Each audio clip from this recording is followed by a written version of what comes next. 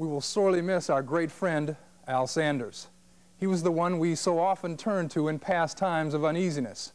We always knew just by his very presence that somehow things would be all right. He had that special ability to reassure us all, and we always looked forward to that flash of wit that would lift our spirits even when the news was grim. Humor came so easily to him, and it was always a comfort and a pure joy. But Al's enormous capacity for fun never detracted from his consummate professionalism. His street reporting was among the best anywhere. As an anchor, his way with words always struck the right pitch and made you feel as though you were listening to a friend or a neighbor at your kitchen table. For us at WJZ, times were never better than when Al was sharing his enthusiasm for the things he loved, his trains and jazz and bowling and barbecued ribs. But he was in his element when surrounded by young people sharing their hopes and encouraging them to do their best.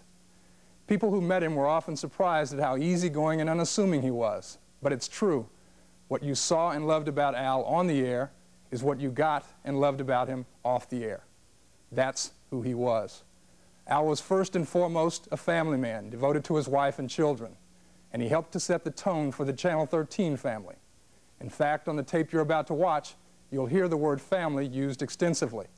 That's a natural choice because we all consider ourselves part of a family.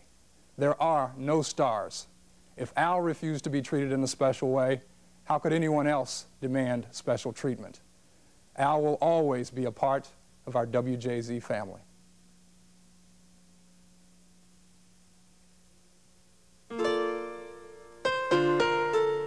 Can look at a news story a hundred times from a hundred angles and never see it exactly the way it looks to the person who lived through it. But that's what you aim for. You can hear a man's story and know his grief or his joy. What's important is telling story. That's the kind of news coverage that sees us through.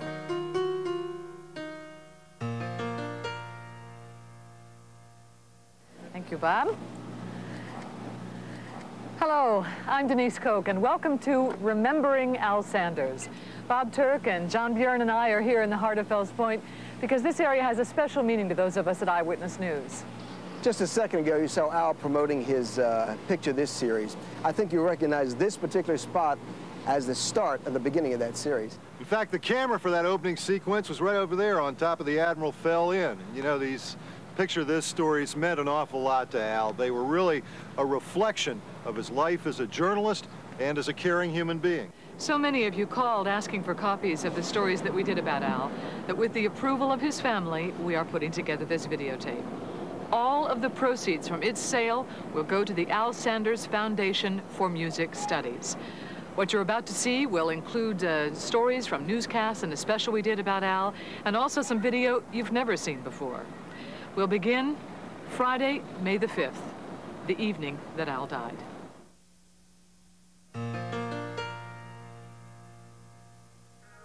You're watching WJZ TV with Baltimore's most watched 6 p.m. newscast in real-time closed captioning for the hearing impaired. This is Eyewitness News at 6. I still love what I do. Still. Because every day I go to work, there's a chance that I will get to, to report perhaps the best story I've ever done. Every day I go to work, I get to keep my, my finger on a part of the important events of the day. That's a, that's a very important job to me, and I take it seriously, and I love it very much. And love is the word that we are left with as we try and comprehend the loss of our dear friend and our colleague Al Sanders. Al died of cancer just before noon today, surrounded by his family at Johns Hopkins Hospital. Over the next 90 minutes, we're going to share with you some memories of Al tonight and some reactions to the loss of this remarkable, remarkable man. He was indeed. Albert uh, was a man of so many fine qualities. He uh, was many things to the people here at the station and to those of you who uh, shared each evening with him. He was a fine friend. He could be a first-rate jokester, but he was also an impeccable professional. Al Sanders, Channel 13 Eyewitness News at the Baltimore City Council chambers. And the water is a bit rough for this kind of experiment. but the project has paid off so far, 20 or more years later. And as you can see, some things remain the same. Those houses back there, well, the NFL throws the ball, Charlotte scores. More than anything else, Al Sanders was a journalist. All the rest of it, anchor, TV personality, role model, all of that came second in his mind. He enjoyed digging up the story, sifting through the facts, and making it understandable. Are there differences between the 20-year anniversary march and the 30-year anniversary? Well, Pat, I think uh, there were less people, yeah, today than, uh, say, 10 years ago for the 20th. But in, in terms of uh, intensity, I think uh, the, the people here, the marchers today, were very much into what they were given in the way of a program. Uh, I remember uh, 10 years ago, Stevie Wonder was singing Happy Birthday to You, and he really had the crowd going.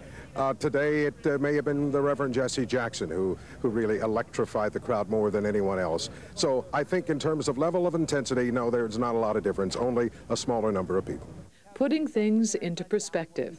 That was something Albert did well, whether it was a news story or his own success. it's gone quickly, hasn't it now? Uh, what has, Robert? You're 20 years. 20 years. Oh. He's been with you 18 of them. That's right, that's right. More than that. More than that? 19, 19 of them. 19? Well, isn't that here? I'm fanning on camera. like his longtime partner and friend, Jerry Turner, Al never took himself too seriously. Jerry and Al were natural. You saw on the air what we saw in the newsroom. We probably have a slight complaint with all the candidates, though, tonight, at least the major ones. They have wrapped it up so quickly that uh, they've taken a lot of the old-time suspense and fun out of waiting. I know. Besides that, I was planning on paying the mortgage off with the overtime. That's right. Sanders says such a newspaper article was printed today. Oh, oh, my, let's just forget it. They're all happy and they're doing much better than I am right now. I will need a home to be adopted to soon. Well, you can see we're overjoyed that the yes. little furballs have homes. Al called those experiences career nights, meaning that the managers upstairs were suddenly going to notice that chaos reigned on the set and send Al packing. It never happened, of course, but then again, there wasn't anything about that October day in 1972 to suggest that the baby-faced youngster from St. Louis was going to take Baltimore by storm. Al was only half kidding when he talked about that first day with John Buren and me. Do you remember your first day here? Yes, I do. Do you remember who hired you? Yes, I do. do you have anything you'd like to share with us about that first day? The person who hired me, I said, hello, Bill. He said, by the way, that's uh, my, call me by my last name, and I work upstairs, you work downstairs. Oh, really? That's so there was, a, there was a cordial relationship right from right, the start. I thought, oh, my, what when, have I done? When you walked in the door, how long did you really honestly expect to stay? Uh, well, see, I was told if you did well in Baltimore, they'd move you to Philadelphia.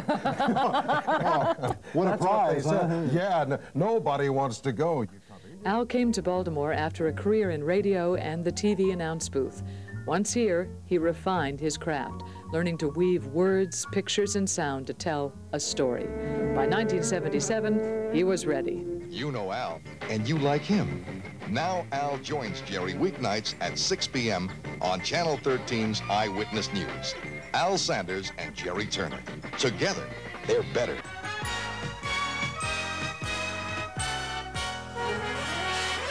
Sixteen people died in that Chase, Maryland train crash. Jerry Turner and Al Sanders. It was to become one of the most successful teams in television history. For 10 years, Jerry and Al formed a partnership that no one in Baltimore could match. Jerry put his finger on what made Al such a great partner. He likes to find out about people, what makes them tick, and what their problems are, what their likes and dislikes are. Al is what I call a people person. Al Sanders has many interests. His family and television and news. Those are the things he likes the most in life.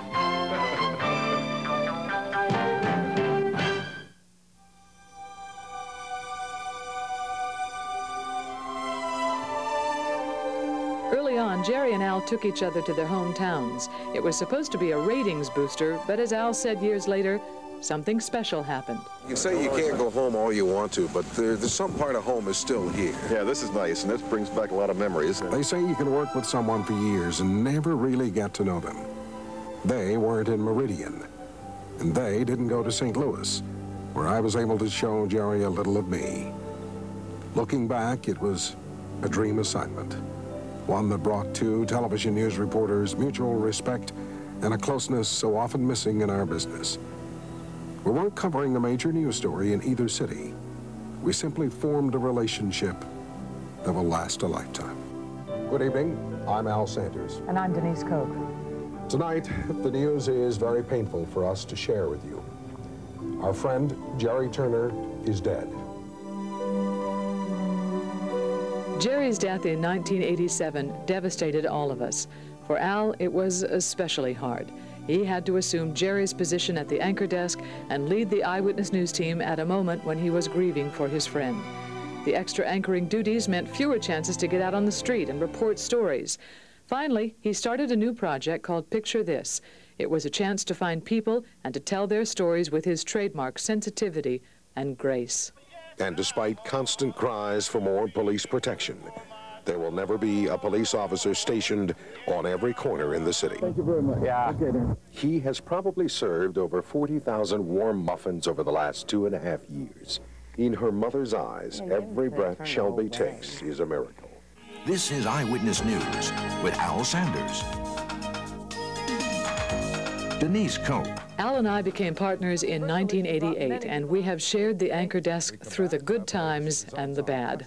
Greg started reports even Thanos' execution may not end this one mother's nightmares. I, you know, take your shoes off, relax for a while. It's been a long day.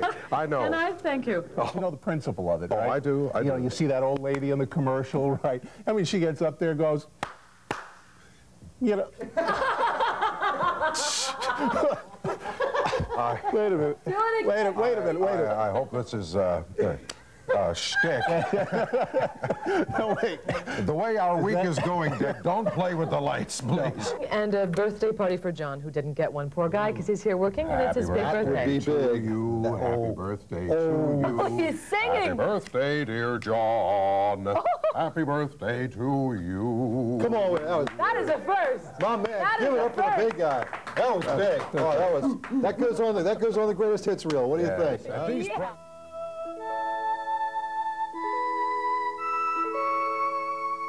We all have memories of Albert. Kids remember him as a mentor, willing to talk to them about their futures.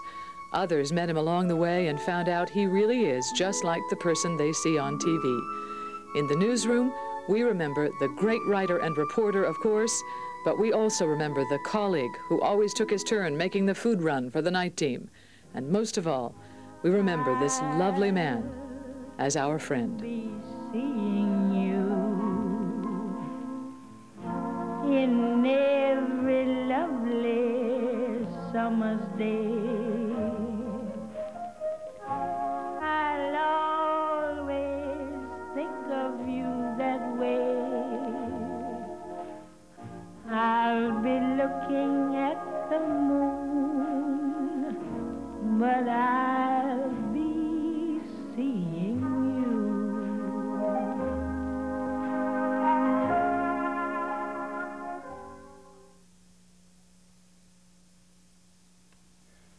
And our hearts go out tonight uh, to Al's family, of course, his wife Ruth and their three children, Brandon, Christopher, and Tisha. You may not know because he was very quiet about his family life, but Al was a dedicated and very loving father and husband.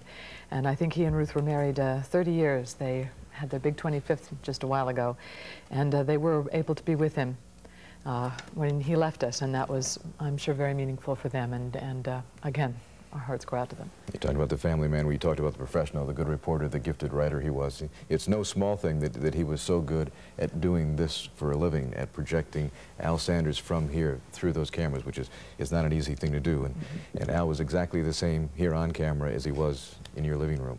And since he was, our viewers rightly came to think of him as a beloved friend and often a member of their own families. And today, some of our viewers, you, shared their memories with reporter Pat Warren.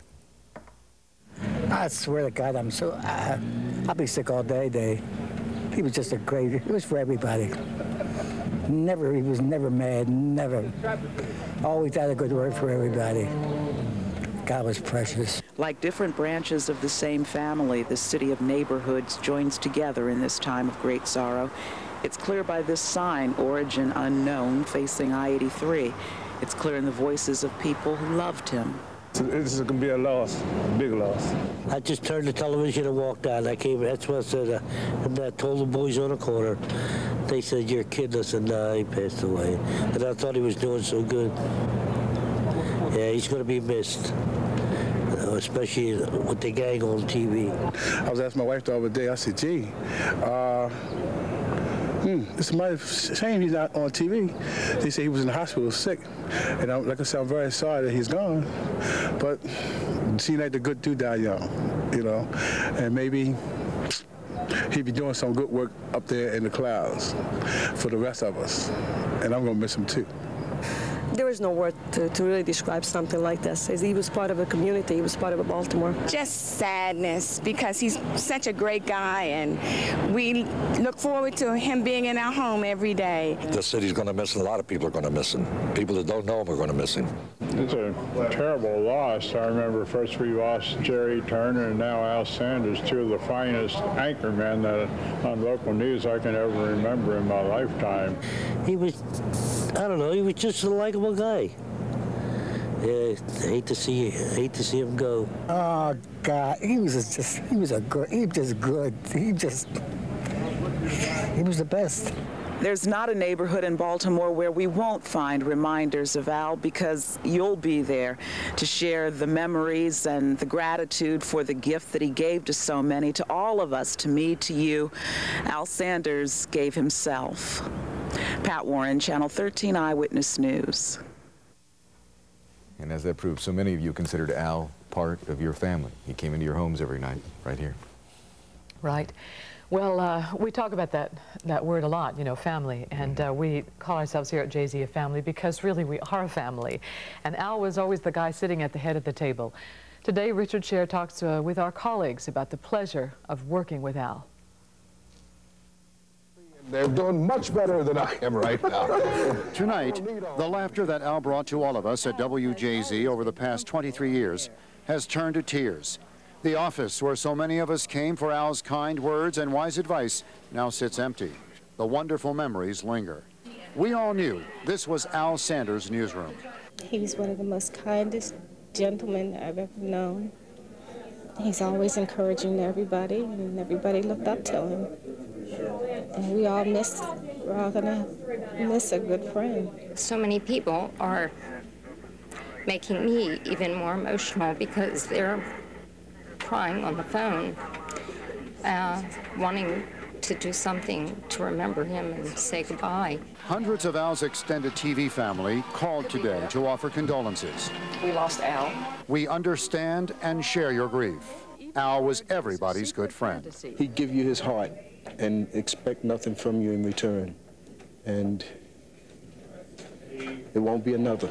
Al succeeded me as an anchor at this station 23 years ago. I never resented it, as some people might in this kind of business, because I liked him too much. Al was that kind of a guy, which is why old friends just showed up on TV Hill today, joining us in remembering the great Al days. It was one of the most embarrassing things that's ever happened to me. Frank Baranco was the photographer. It was a great loss for all of us here at Channel 13. I personally did a lot of work with Al Sanders and a lot of his specials, and my condolences to his family. Just a wonderful man, and we will always miss him. I remember Al when he first came here, and he had sort of a meteoric rise to, to where he was before he passed, and uh, he remained that same nice person through all those years, never changed. He always had time to stop and talk. Just a loving person. And lovable. He was, of course, the consummate anchorman, reporter, and a terrific role model. But even more importantly than all that, I'll remember Al as a great person. Al was the newsroom anchor and more than just the anch anchor man. He he held us down when we needed to be held down, and he, he let us roam free when, when we needed to be roam free. He was he was our anchor, our home base. And when Al said you did a good job, that's wow. when you floated about a foot off the air walking down the hall. When Al said you did a good job. Thank you. Thank you all. This is very sweet. And to everyone. Richard Sher, Channel 13 Eyewitness News. Al was diagnosed with lung cancer just seven weeks before his death. But in that short time, so many of you wrote and called us at Channel 13 with good wishes for Al's recovery. Before we move on to the weather, we wanted to, uh, to say a great thank you to all of you for sending so many cards and letters uh, for Albert. And we want you to know that everyone that comes to the station is being taken to him. And since last week, we have gotten 30 pounds of mail. Wow. And uh, just 19 more pounds are being delivered uh, today to his home and to his family. They have been overwhelmed, very touched, very moved by your outpouring of, of good thanks and, and hopes for him. Here's a greeting that is going to be echoed by everyone here at the station. I'm sure many of you. Let's hear it. You out and get well soon. Those are the kids from Riverside Elementary School in Joppa. They said, uh, we love you, Al, and get well soon, which we all feel here. Some great big get well wishes for Al Sanders today. Members of the Golden Lamp Christian Church signed a giant get well card for Al, who's taking chemotherapy. And Al sends a great big thank you back to all of you who've been thinking of him. I want to take a moment now to uh, once again thank you on behalf of Al for all of the tremendous numbers of cards and letters and gifts and things you've been sending. Uh, they've all been delivered to them in huge bunches, uh, like two or three times a week.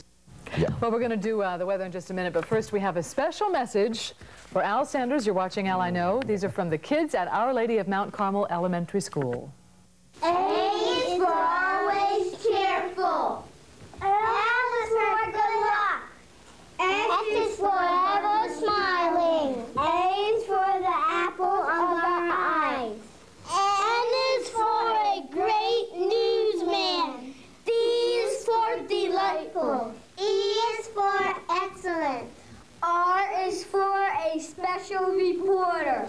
S is for the sunshine you always bring us. Get well, Al Sanders from Our Lady of Mount Carmel Elementary School. All right. Yay. That was wonderful. Wonderful. It was, and I, and I want to know you to know something because I thought this was very touching. Um, Al was given the offer because there were so many cards that you sent to have someone help him. Thank you, uh, all of the people who wrote him, and he said no, that he was going to personally answer every card. He obviously didn't have time to do that, but I think it's wonderful to know that that was his desire. That's what he wanted to do to thank you. So if you send a card, know he read it and know he wanted to respond. Certainly sounds like Al. And of course, it wasn't just those of us with whom Al worked or those who grew to love him through the medium you're watching us on now that appreciated Al. As we alluded to a minute ago, he was a man who lived for his music. An art form Al spent a lifetime listening to and learning to love. And as Stan Saunders found out today, because of that love, even more people learned to love him.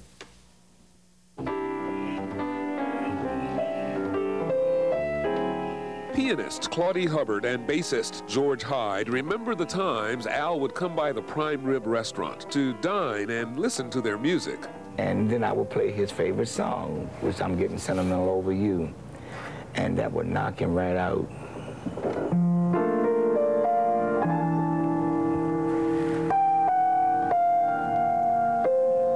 Oh,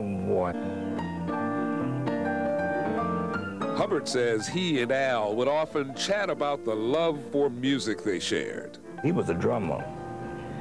And um, He had a love for music, didn't yeah, he had a real love for music. Uh, you know, he knew Miles Davis and all of them personally. Seemed very relaxed and at ease, and like he had uh, he needed it after a long day, so he, he seemed to enjoy it. Doris Ligon, director of the Maryland Museum of African History, located in Columbia, says the town will never be the same without him. I think he brought sophistication, he brought informality, he brought friendship, uh, he brought credibility. But that's, that's the kind of person that he was. Claudie Hubbard recalls Al's passion for Duke Ellington music and his sense of humor. He says Al had him in stitches, telling a story about waiting for a bus. And it was raining like the devil. And he went inside, and the man wanted to know what was he going to buy a car. if he wasn't going to buy a car, he had to go back outside. He'd been down, he was down on Cadillacs from that day on. There was nothing that was put on about Al. And I think that that's what attracted everybody to him. For Claudie Hubbard and many others, Al will never be forgotten. Stan Saunders, Channel 13, Eyewitness News. For nearly 12 years, Michael Olesker, of course, has delivered his commentaries on the 6 o'clock news while sitting next to Al. Tonight he has some memories of Al, both on and off the air. Look, the news was always the foundation, but he had a sense of fun that was just uh, delightful. Al Sanders had a feel for the underdog and a gentle paternalistic touch that he leavened with a dry, deadpan sense of humor. One night I was doing a piece on the 150th anniversary of City College, which was my high school.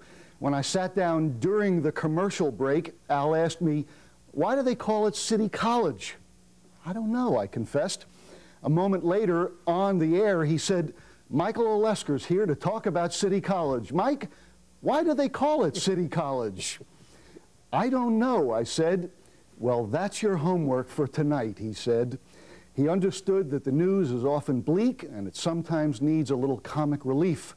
Some years back, when NASA worried about the spacecraft Skylab falling to Earth, a kind of low level panic crept across the land. Al interviewed NASA officials, and then in the closing shot of his story, he sat at a picnic table and he wore one of those old time folded up newspaper hats on his head. This ought to protect me, he said. For a long time, Al Sanders gave a lot of us a sense of protection and also a sense of fatherly perspective. And that's a pretty good epitaph for anybody in this business. I'm Michael Olesker. That's very nice, Michael. Nice. Thank you. One of the more touching moments happened the afternoon that Al died. A representative from the Orioles called over to the newsroom that day and asked if, if they could observe a moment of silence for Al at the ball game that evening.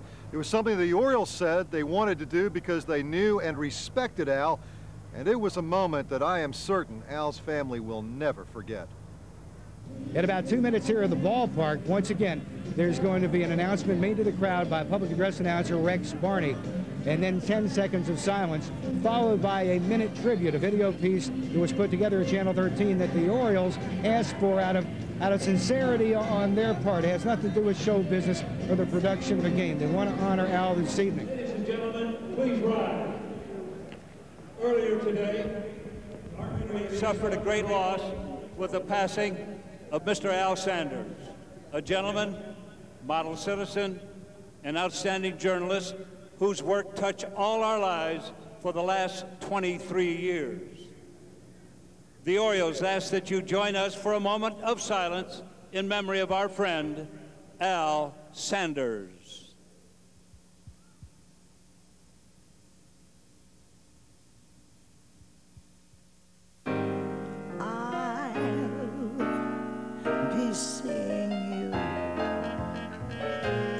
Was a guy that when he talked, um, I listened, and you know I thought he was coming from um, from his heart. And uh, you know I know he's only you know supposedly a news guy, but uh, you know certain people have style and class, and certain people are believable, and people that you just trust. And uh, he was one of those people.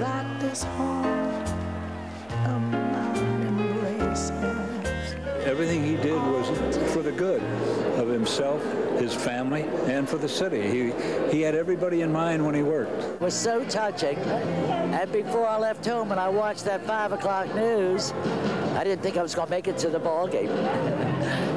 beautiful, beautifully done. We lost a good man. Uh, he was a true friend and he was very sincere and a fun-loving guy and loved the game.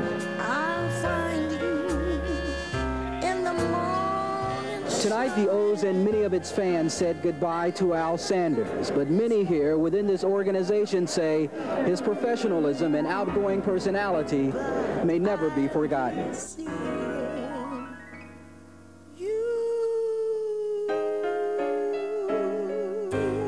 An incredible Baltimore memorial to a real Baltimorean, our friend, a good buddy Al Sanders. Does your sex drive go down when the temperature goes up? A researcher from the uh, University of Miami of Ohio believes that it does. I knew there was a reason why I like cold weather. I knew it. Bob is going to tell us, hopefully, if we should practice our rain dance. and our Catch and Bass staff talks to some kids who think an accent may be in the ear of the beholder. We'll be right back. As we remember and we mourn our dear friend Al tonight, uh, smiles, as you've been seeing, sometimes break through our tears, thank goodness. Yeah, laughter and fun were such impor important facets of Al's personality. You could always count on having fun when Al was around. Yeah, you could, you know, and that's what I, a lot of people, including myself, uh, prefer to think about is, and remembers that smile. Uh, you know, you could always count on a quick line, that deadpan look, the, you knew you were going to get zapped, and it was an honor to be zapped by him. We, of course, thought we would like to look back, you would like to look back with us at some of the highlights of the funnier times in Al's life on the air. We hope they'll bring a smile to your face and ease the pain. Just into Eyewitness News 3. There was always something reassuring in Al's voice, calm, caring, authoritative. But there was also always something very warm in his smile. He knew how to laugh, often at himself. If you like the recipe or would like to have it or information about tomorrow's American Heart uh, Walk, simply call 1-800 AHA USA 1. Is it getting a reflection? Let me.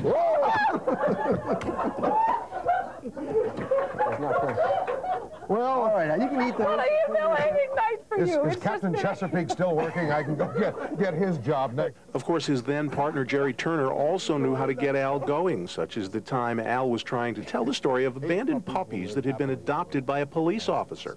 How could anyone resist these little faces, I ask you? Evidently, Sergeant Ronald Redmond of the Southwest District couldn't. He found these little guys and girls shivering in a cemetery yesterday, and tonight four of the little fur balls have homes. Of course, I had to get up for my two o'clock feeding. You know, they kept me up, uh, up and down all night, just like a little, little kid. Sanders says, says a newspaper article was printed today. Oh, my, let's just forget it. They're all happy and they're doing much better than I am right now. I will need a home to be adopted to Oh, soon. you can see we're all overjoyed that the Yes. little fur balls have homes. Of course, Al could often lose it on his own. As Roger Morales and Boris Bobenkirk tied the knot in the place where they first met, the checkout lane at Kmart. The couple mate met. well, they will do that, I guess, now. if they ever get through the checkout line. The couple met eight months ago when Roger came into the store to buy some motor oil. Oh, how romantic. And that just gets stranger and stranger. It's Roger and Doris, by the way. No, I don't think it's Roger and Boris. Oh, d- Roger and Doris. Ro- oh, what did I say? Boris. Boris, I oh, believe. Oh, well, it looked like Boris. Well, we didn't want them to think anything was It going on the Missouri, Kmart. you know.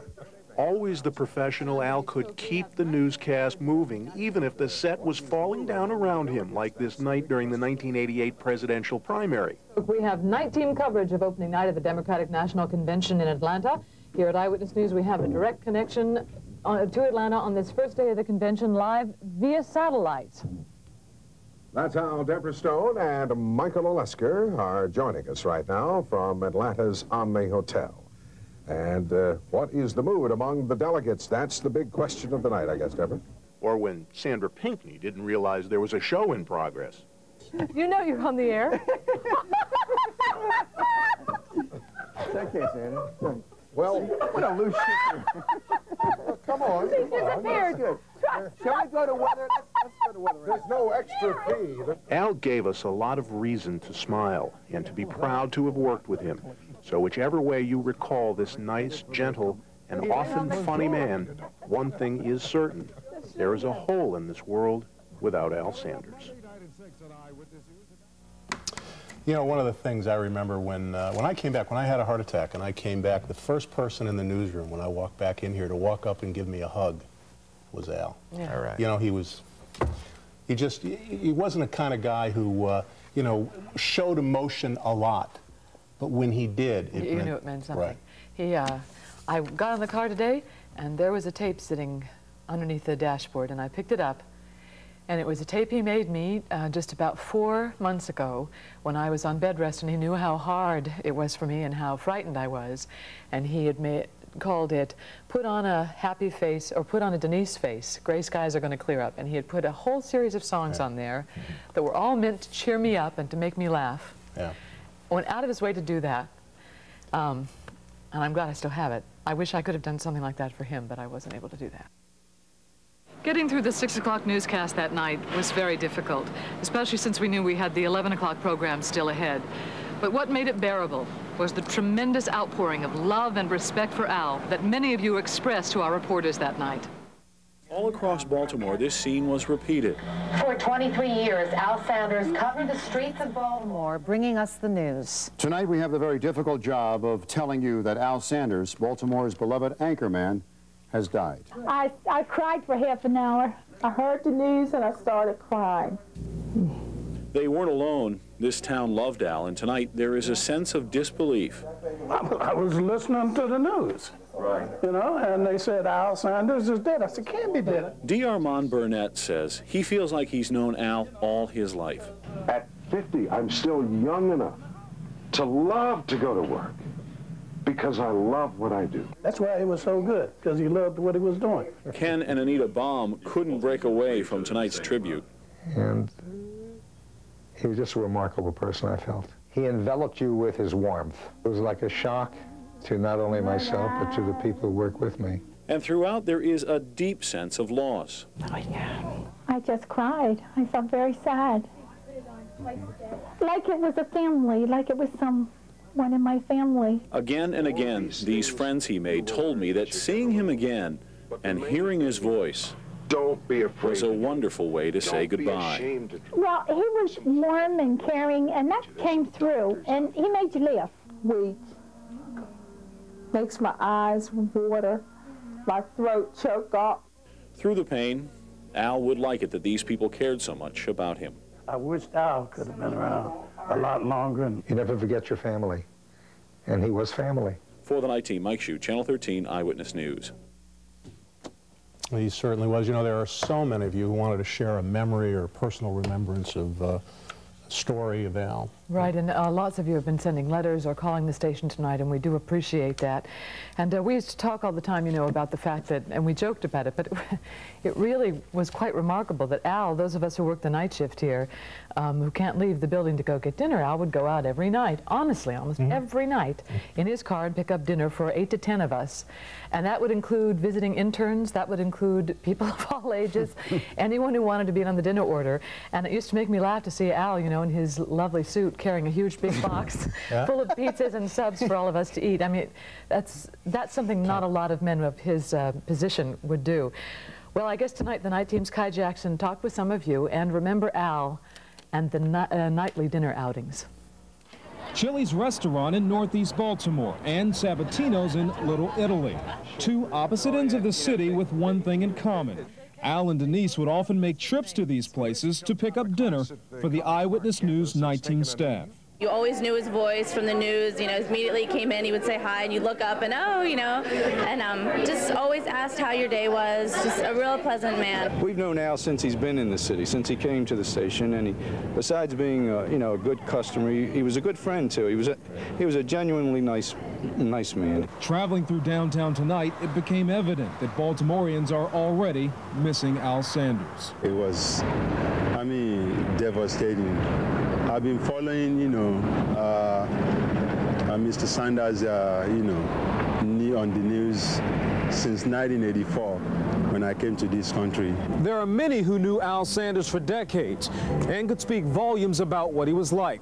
In the two years that I came to know Al, I considered him a man who was genuinely kind and very thoughtful. Those we spoke with tonight say Baltimore was somehow a little different with Al Sanders and now won't be quite the same without him. him and Jerry Turner, you know, we, as a kid, seeing both of them, and it, it, wa- it was a shock seeing, you know, with both of them dying. Oh, by the way, uh, we should uh, just quickly here say hi and welcome again. You're Thank you. from this area. From right? Prince George's County, a native of Maryland, and uh, very good to be back here. Welcome home. Thanks, Al. In life, we learn our time spent together is short, but we cherish each moment we are given. For the night team, Kai Jackson, Channel 13, Eyewitness News. Al, of course, received hundreds, absolutely hundreds of pounds of get well wishers from our viewers over the last few months. But the night team's Ron Matz says that none touched Al more than two special gifts sent to him by two people whom he never met, but who knew his love for riding the rails. Denise Koch loves to garden. Al Sanders doesn't. Al likes bowling and trains. Al had a passion for trains, and it was this promotional announcement that prompted these hands to make this from a piece of a fallen tree. It's all like a briefcase. You can uh, put it together and just play with it on the desktop or floor or whatever, you know. And I thought it would help cheer him up. It took Raleigh two days to finish his project. He wanted to touch Al the way Al touched him. I guess you could call it a magnetism. there are some people that affect people like that. You like them whether you meet them personally or, or whatever. Annie White never met Al either, but despite a bad arm, she worked for three days putting together this train jigsaw puzzle. It was her get well card to her friend. I thought about him, and when I saw that puzzle out there, I, that's what I got it for. Got it for him. Annie knew Al loved Lionel trains. She also loved the man who came into her living room every night. I've never seen him in person or, you know, no, but he just seemed to have a nice attitude about everything, and he always had something nice to say. And at the B&O Railroad Museum today, Al was remembered not only as a member, but uh, as a good friend. Like I say, we'll think of him often. You know, he was like a big kid, and that's the way he was described by a lot of people when he got around the trains. So I just hope, well, he'll never leave the place. He'll be here in spirit. We're all going to miss him, you know. It's going to be a great loss to the community.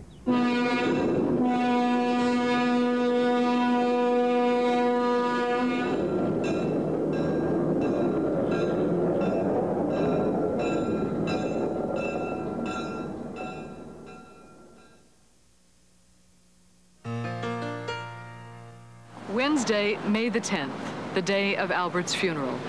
For many of us, that was the hardest day of all because we had to finally face that Albert was gone from us forever. We saw so many signs of your respect for Al as you drove from the Columbia Interfaith Center and then on to the gravesite. It was a bittersweet day filled with moments of sadness, moments of tears, and yes, some moments of joy.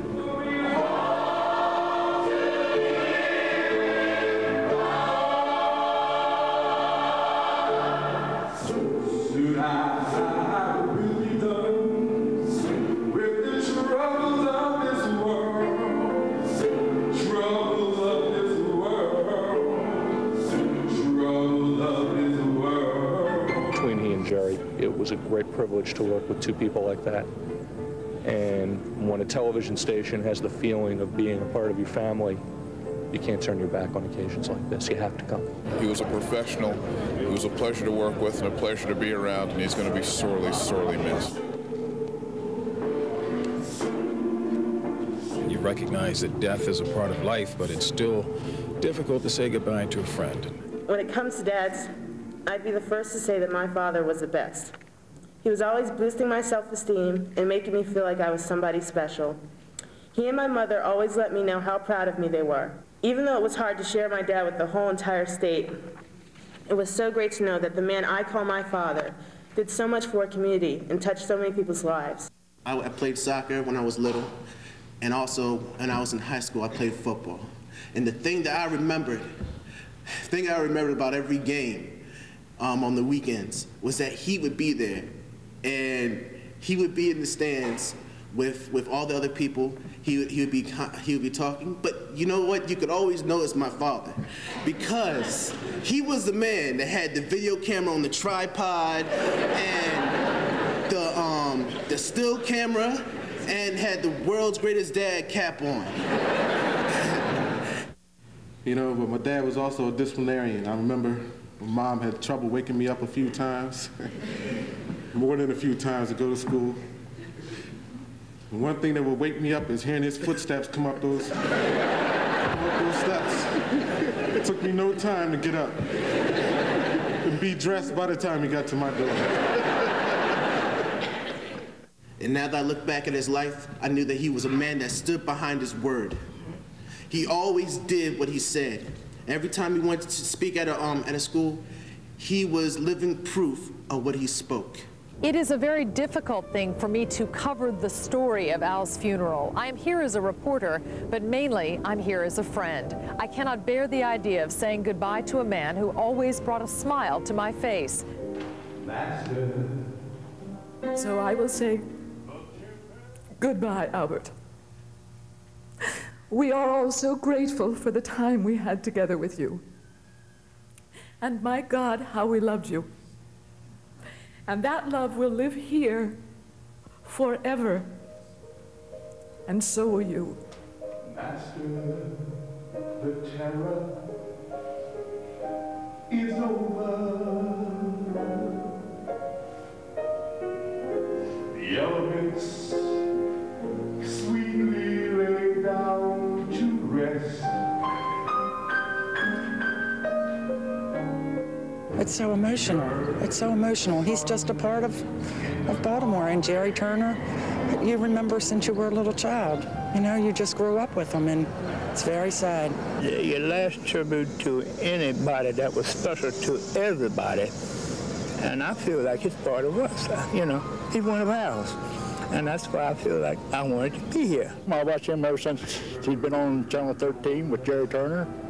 And I enjoyed them. And when they talk about them, tears run down my eyes, face, cheeks. I feel like somebody's missing at my dinner table. He was an important person. He was well loved. And uh, uh, with everyone out here today, you know, just lined up here, you, you, you know, it tells you that he was well loved. The faithful viewers made up signs and said they would miss Al terribly. They fretted about his wife and his family, and they worried about Denise and Al's other co-workers, and they had a tissue ready when this Channel 13 reporter needed it. The people who stood outside the cemetery fence said they just wanted to catch a glimpse from afar, to be close to Al on the day he was buried. One woman said once the family and the dignitaries left, she planned to go inside and say goodbye.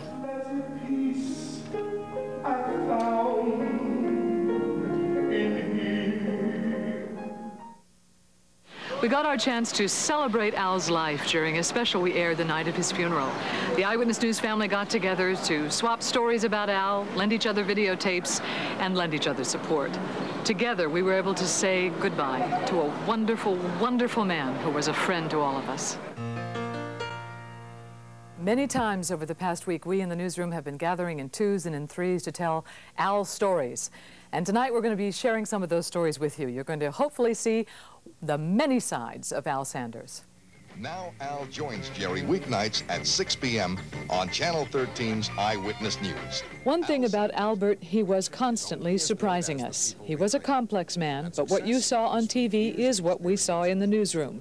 He was the journalist, yes, but he wasn't afraid to poke fun. What is that, rockfish? Yes, that's a rockfish. We caught it off uh, Breezy Point this afternoon. And uh, What do you figure that heavy. weighs? Is I know it must be. What? How much does it 40 pounds. We had it certified just now. Uh-huh. And uh, How long can you uh, can you hold it while we talk? not much longer. He was a tough reporter, but incredibly sensitive, tradition-minded, but he loved the free expression of jazz.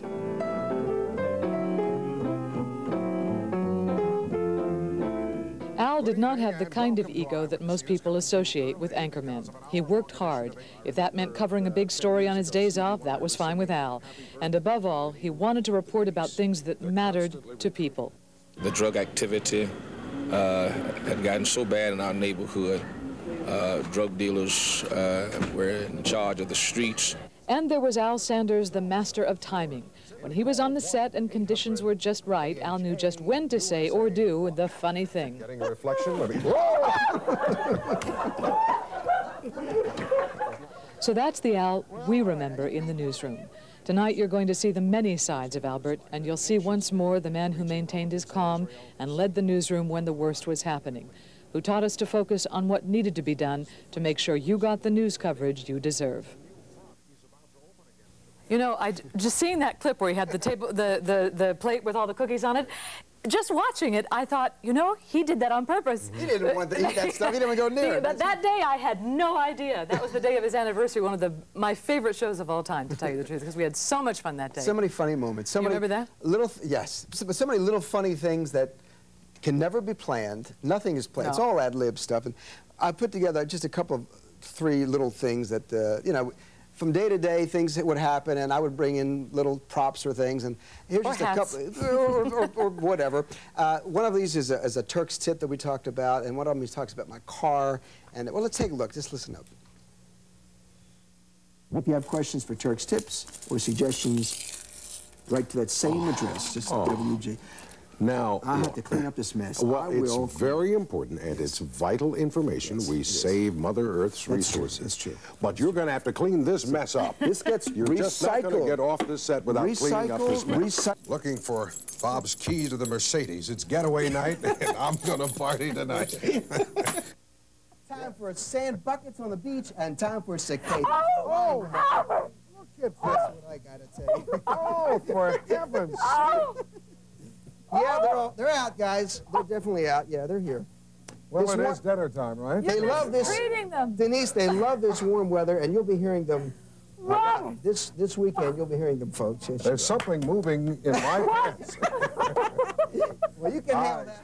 I thought you were going to have a cow that night, aren't you? I know, I know. But just like that, there's something in my pants. I mean, that's the stuff that would happen with Al all the time. All you have to do is look at him, and something would happen, and then something would happen, and something would happen, and something would happen, and it just sort of always happened.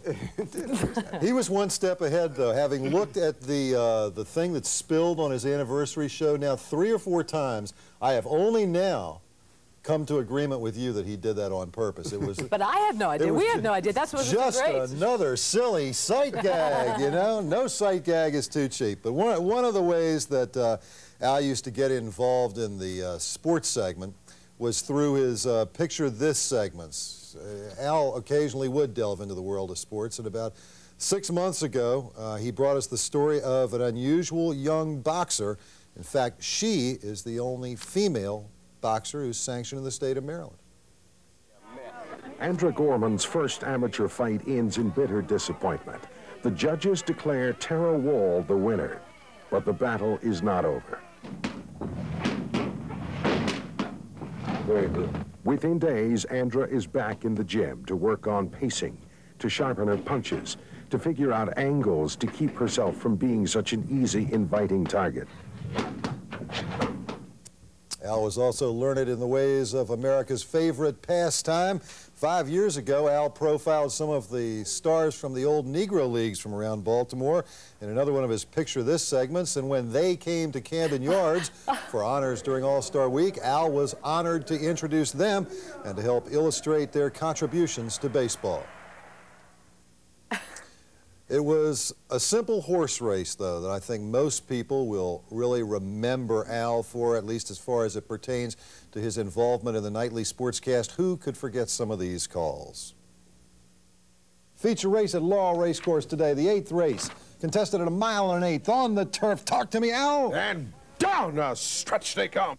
A field of seven three-year-old and ups going five furlongs on the turf. $21,000 allowance race. What you say, Big Al? And down the stretch they come. Yeah, boy, here they go. A field of six three-year-old and ups going a mile and a 16th for an allowance tag of 18 grand. What you got, Big Al? He struck him out. Right, Al. The one on the outside is going to strike him out. Look at that. Number three is everybody happy. Andrea Seefeldt on board. Wins it by a length and a half. It was, is everybody happy? got me. Uh, returning 11 20 460. What was it? 260. Oh, Lordy, I'm it's been a sitting here long thinking about Tiger Stadium and the ball jumping. I'm sorry. Uh-huh. It's what- what- not my night. Thought you were going to throw me a he shoots and scores. But of course, it was his night. I was. Uh, we're joined now by some of uh, other loved members of our Eyewitness News team, uh, Don Scott and Marty Bass, and I was going ah ah when you were showing that clip because Al had a baseball cap on. Yes. And Al never wanted to wear hats. Never, Never, never. never. And when his son today, um, I believe it was Christopher, talked about how his dad wore a hat to his games that said "World's Greatest Dad," Yeah. Yeah. I kept trying to picture Al in a hat saying that, and I, somehow I just couldn't do it because Now, he. now you can. Now I can. right. Phew, uh, you know, I, the past several years, Al and I have not worked together very closely because when he's gone, I'm here and vice versa. We visit in his office occasionally, but uh, in past years we worked together a lot, and the memory that comes back to me time and time again is 1980, when he and I were teamed up together for a week covering a very important political convention in which another broadcaster took a, a giant leap forward in, in his career. A younger looking Ronald Reagan won his party's nomination at the Republican convention at the Renaissance Center in Detroit. A couple of much younger looking local reporters communicated to you live from that location. I think you'll recognize Al Sanders on the left, but the boy without a beard is me. And I hope it's not just from looking back from this point 15 years later that, and how good we look. I, I know from a fact that we were good at that convention because Al was good at that convention. And it's the only time, in my experience in the newsroom, we happened to come back on a Friday afternoon about 4 o'clock. We walked into the newsroom and we got a standing ovation Wow. from the staff. And I think the standing O was for Al, but I was walking right behind him. but it's one of my favorite memories just to see uh, everybody acknowledging what we did and especially what Al did at, at a national convention. So. That's nice. Well, you know, Don was right. We, we work on opposite ends of the day. Primarily, the two of us see the three of you, you know, passing on shifts or at meetings. Mm-hmm. And a lot of the times, my appearance, all, almost all the time, my appearances on the 6 o'clock news are taped. Catching Bass and then the updated Mondo Basso. Mm-hmm. But I was on the set doing a series about trains. Remember the dining cars were coming back? This Ah, was yes. recently, within the past Yeah. seven months or so. And we thought, you know, it's too bad Al didn't really get a chance to do this. He'd have loved doing this story. Wait a minute. Let's bring him dinner.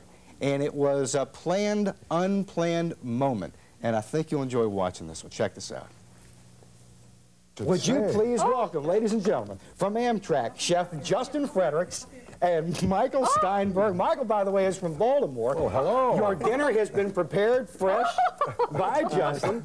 Michael serving you as he would on Amtrak Ah. tonight. Fresh farm-raised catfish. Oh, we have rice that. pilaf, uh, glazed carrots, broccoli florets. It looks wonderful. And, uh, bless your heart. Thank and a little bit of Sutter Home water there. Yeah, yeah, yeah. So have sparkling water Yes. is a man. And this is no, listen, this is legit. Serious. This is your dinner. This is my dinner. Tonight, dinner. this is your dinner. This was just prepared. Well, thank you. Uh, let me- We'd shake hands, but you'd steal my dinner, wouldn't you?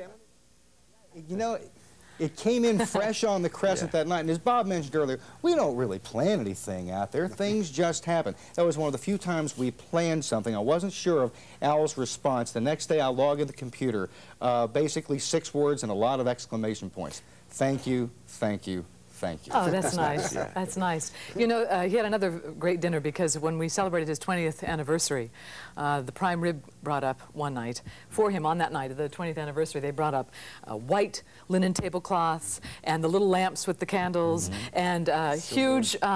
What was it? I think it was crab for appetizer, and this enormous steak and this enormous meal. And uh, all the night team worked like crazy so that Al could go into his office and just light the little candle and sit there by himself with the silver and the china and the little candle and eat his dinner.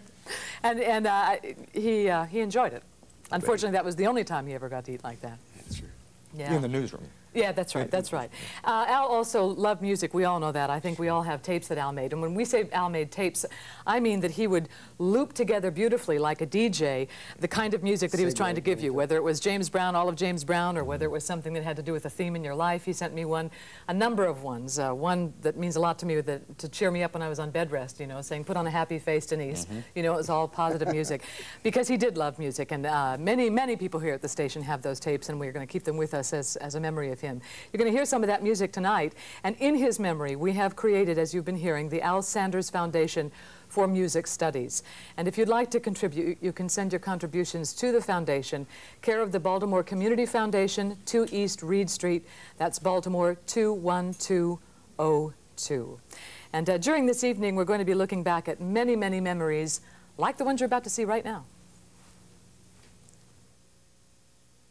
I'm a meat man, and a meat man knows. The finest meats, ma'am, are Mayrose. Uh, the, commercials just coming out of me for some reason. That goes back to St. Louis in 1940. Um, I think we need a few days off there, big guy. well, if I were...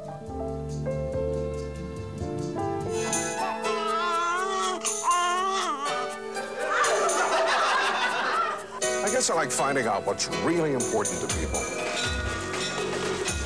Everything changes, but we still laugh at the same things. The same things hurt. I want people to know we'll see them through. That's what I do. You know, do you watch the program? Al Sanders, Eyewitness News. Hey, Al, this is great. Yeah. Gee, Bob, this is great. Snow and hail, I call it snail. oh, Al, am I up? There's one. There's one. Orange swallows. Remember those clouds that started coming in over the weekend? Oh, Al, I'm up. Scissor-tailed flycatcher. What's that little fella next to him? Orange swallow. Al Sanders and Bob Turk. The best news teams complement each other. Oh, Orange swallows. Whoa. Oh. We don't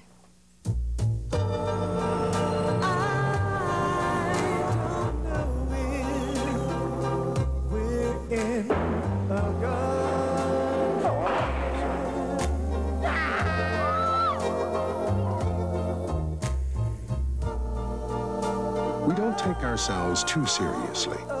We don't take anything for granted. There's only one Eyewitness News. There's only one JZ.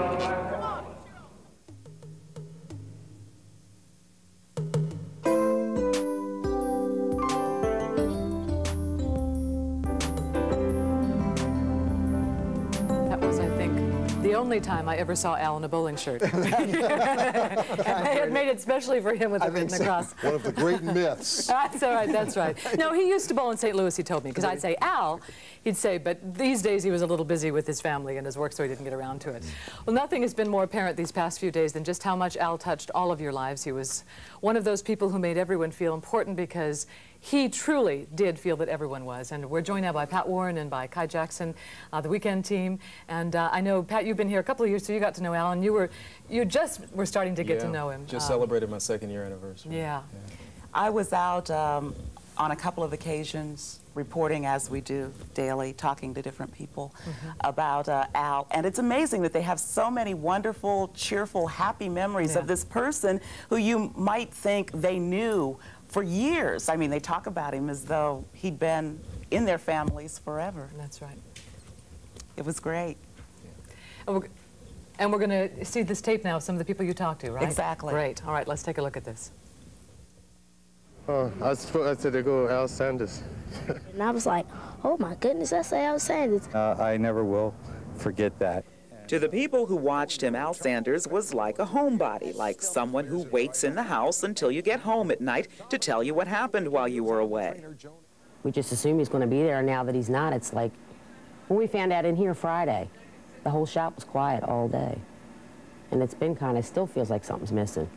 I mean, when you just walked in the door, I'm like, well, where's Al, you know? Just something.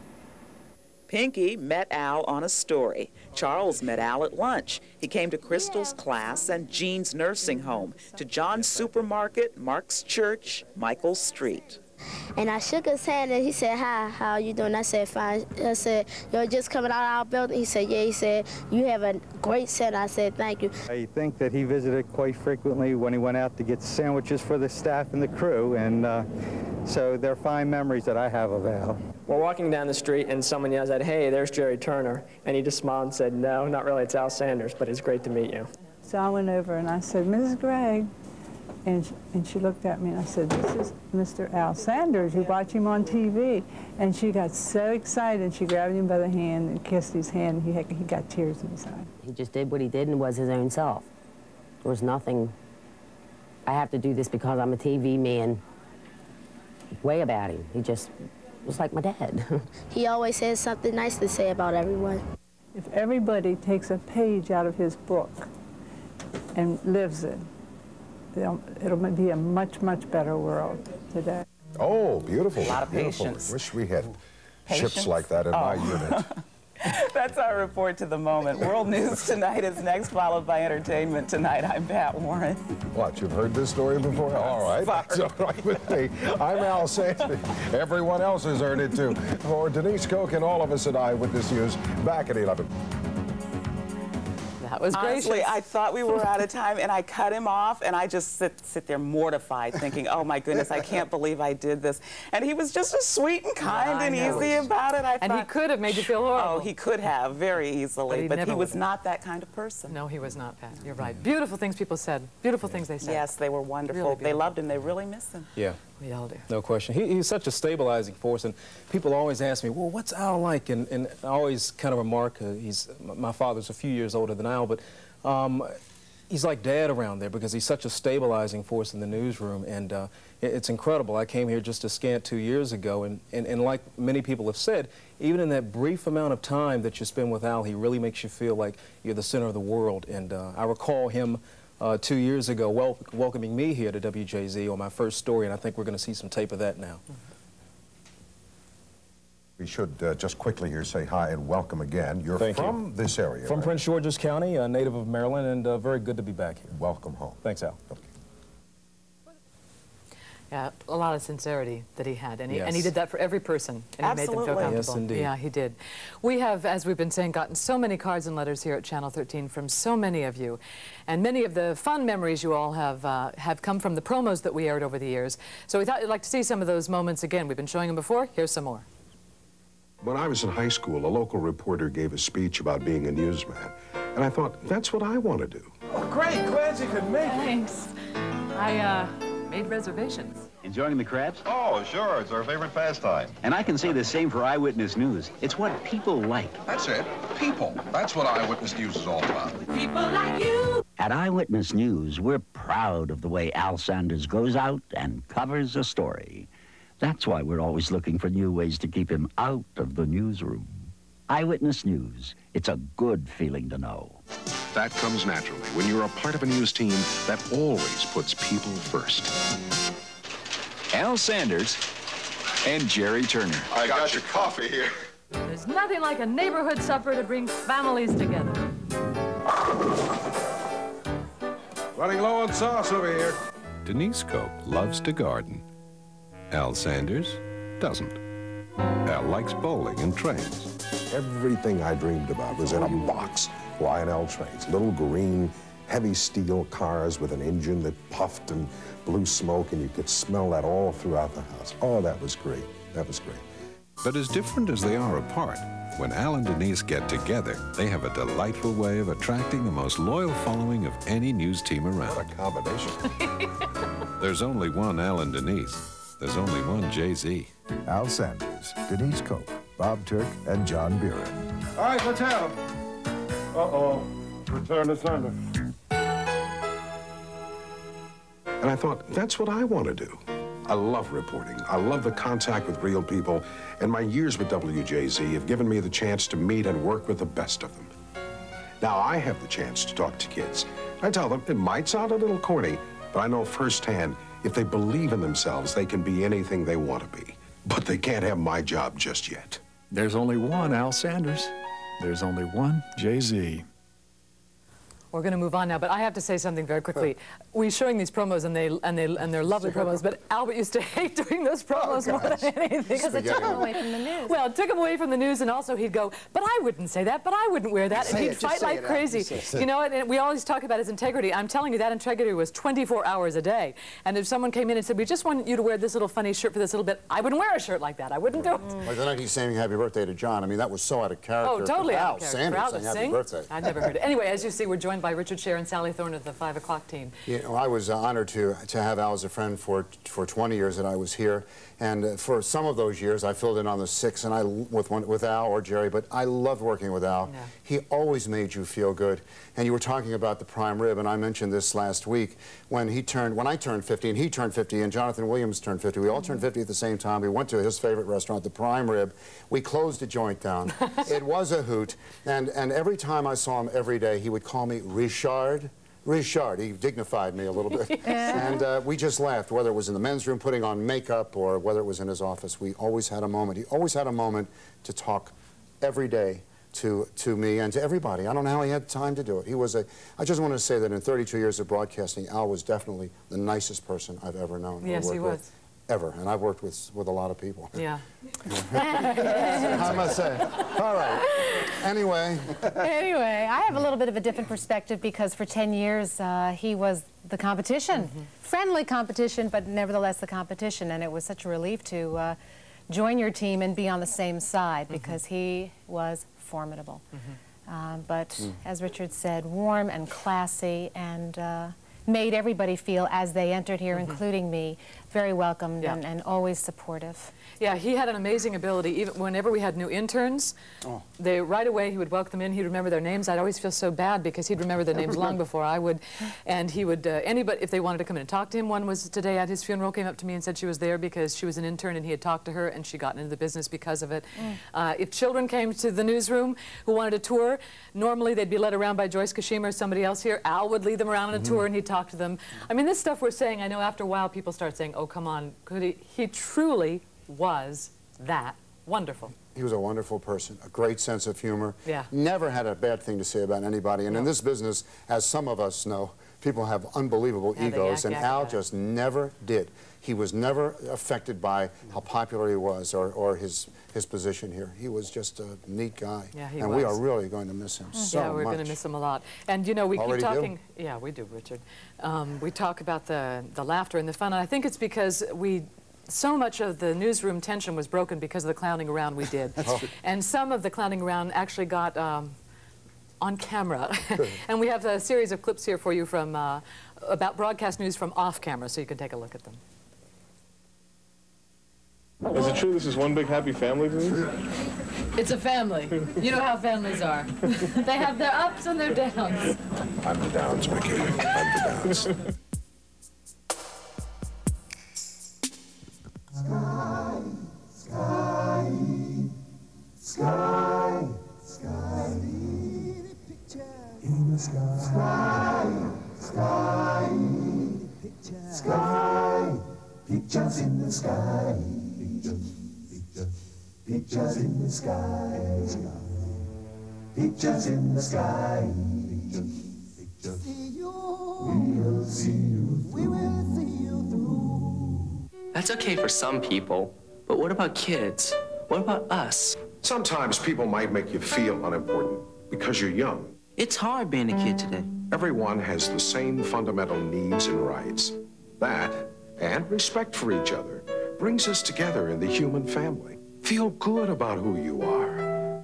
So, who wants to continue this and feel good over pizza? Well, right now I have a fundamental need for pepperoni. Yeah, pizza. All right, pizza. Where is this pizza place? Oh, they're plenty closer, but I figured you'd like riding on a train. Yeah, pizza in the skies of Baltimore. Now that makes sense. Al Sanders, some friends. Serious times, fun times in Baltimore. In the great pizza of life, may none of us be anchovies. What does any of this have to do with Eyewitness News? Everything.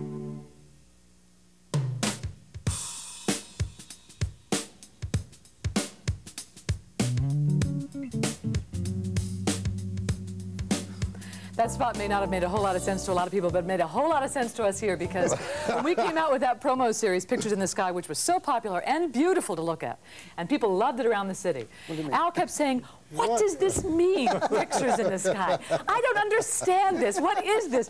And he drove the promotion department here, and they did these beautiful spots. Crazy, because he kept saying, it makes no sense to me. So that's why they did that, that spot where they had him saying, pizzas in the sky, and that's why he went, oh, that makes sense.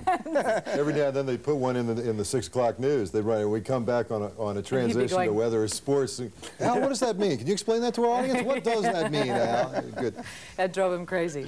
Well, uh, we're now joined um, by two other members of our Eyewitness News family. Uh, a newer member, Kelly Lynn, who just joined us, and uh, You an were gonna older member. You gonna an older member? Very old. I knew she was a going to do. distinguished member, Thank you. Mr. Gelfman, has come here uh, to join us with some of their thoughts on their memories as, as well. Well, you know, I didn't have much time to spend with Al. I've only been here about eight months, but he did make me feel so special and so warm. And he made you feel important. I, I don't have nearly as much experience as many other people here, but he did make me feel like I brought something to the table. And there was a sincerity about him that I really appreciated. He, when you're new to a place, the first thing you want to do is just get comfortable and get it over with as quickly as possible. And he just made my life so much simpler. I looked forward to being with him, uh, to doing Health Watch with him on the 6 o'clock. And I would even check the rundown before the show to see, are they putting me with Al? Because I knew I'd have lots of great laughs and that I'd go home with a smile on my face. Yeah, so, that's for sure. Yeah. Yeah, you know, it, I remember when you when you walk in uh, to this uh, building, when you're driving into the parking lot. I think you mentioned it the other night when Al used to drive in. It was that, you know, hello Denise, hello Dick, that booming in the smile. It was always with a smile. He always had that uh, look on his face that you, you know, he knew he could take a zinger too when you'd give him one back. Like when we fight constantly on Friday nights over who would pay for dinner. You know, it was always, Dick, you having dinner with us? Yeah, Al. You have any money? No, Dick. That's not the question. you know? But, so what we decided to do was take a little bit of a look back uh, over the last uh, umpteen years, going back 20 some years, at some of the humor of Al because he had it, and it was really a, a pleasure putting this piece together because you got to see uh, that humor, that style, the class that was Al Sanders. Enjoy this with us. There is little humor in most of the news that comes our way every day. three more suspects have been arrested in the World Trade Center bombing. And no one knew that better than the man who for 23 years brought Baltimore most of its news. So when there was a chance to change the pace, to let the viewer sit back and maybe smile for a moment or two, Al was ready to deliver. So we have a, an iffy situation, as these storms always are, as they move up the Atlantic coast. We'll know more tomorrow by noon, and tomorrow morning, of course. Also. Well, why don't we go stock up? That's a I- good idea. I think I that's don't think it's always necessary, a good but idea. if you'd like to, that's it's up to you. It's never necessary, but we do it anyway, don't we? have an excuse? Often it was simply his deadpan expression and Jack Benny-like delivery that pulled it all off. Like the time Bob Turk finished a tip about composting. Everyone should have a compost pile. I'm just going to finish this banana right here. You can put the Wait, eggshell, wait a minute, that's coffee garbage? grounds, That's a, that's a coffee prop. grounds. It's just a prop, Robert. No, Oh, it's garbage. It was garbage. not garbage. It's just my lunch. See you later. That's why his compost pile is that small. You see, he keeps going out there eating it. Where are you going? Eat my lunch. Well, goodbye. Al had far too much class to laugh at others, but found no problem laughing at himself. Getting a reflection? Let me-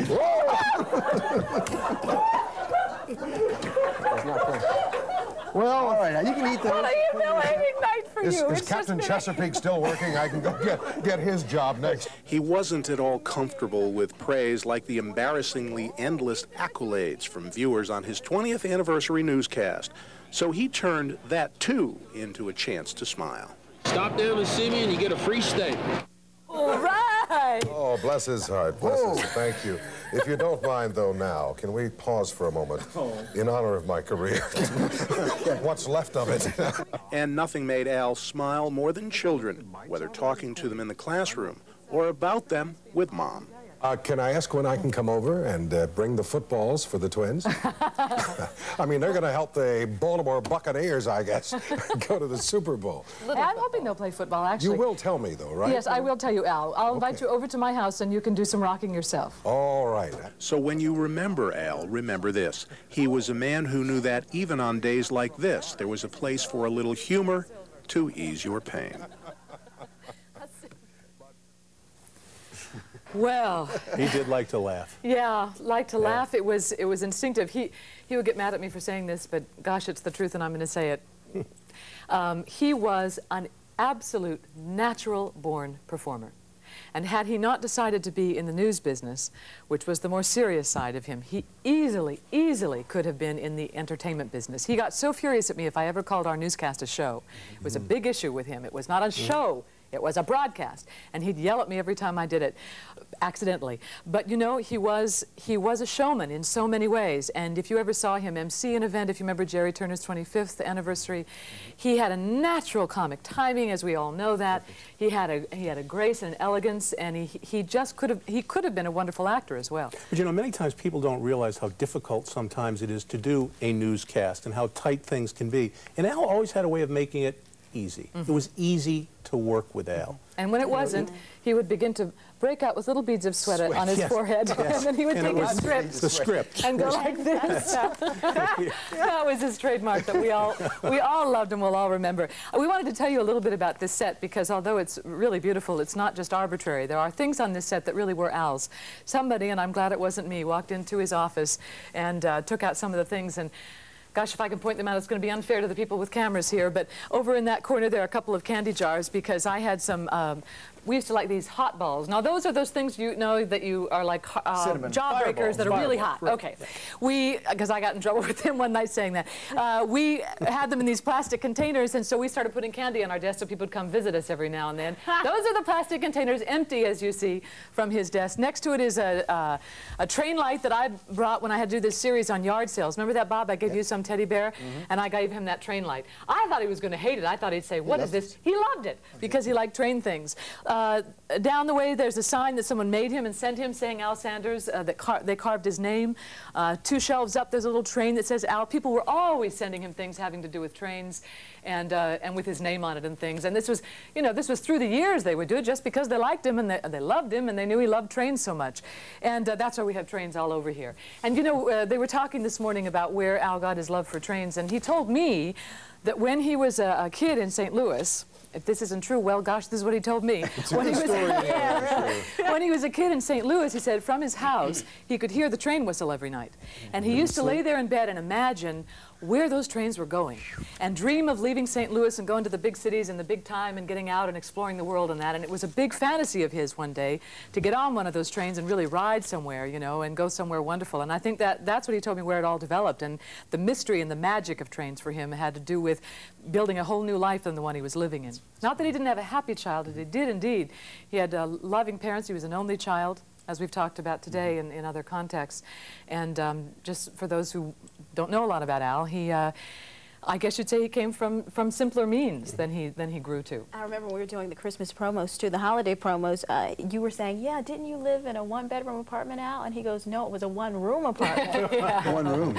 Which wasn't, I, you know, I don't know if that's entirely true, but he did come from very simple means, and uh, and he got his love for broadcasting. He told me when he was a kid, his parents would have parties, and he'd spin the records, and they'd go, oh, yeah, yeah," and he'd, he'd he'd beg them to do it, and he'd go in the room and he'd start spinning records, and that's how, and he'd announce them, you know, now, now we're going to hear from whatever, and that's how he decided he wanted to go into broadcasting because he loved music so much and he loved, you know, sort of entertaining the crowd. Imagine what wonderful people his parents must have Oh, been. they must though, have To have been of His modest father- circumstances. His father was a postman, was that mm-hmm. correct? Yeah, that's right. But to raise a child that would grow up to be a man as wealthy in the currency of kindness as this gentleman was, mm-hmm.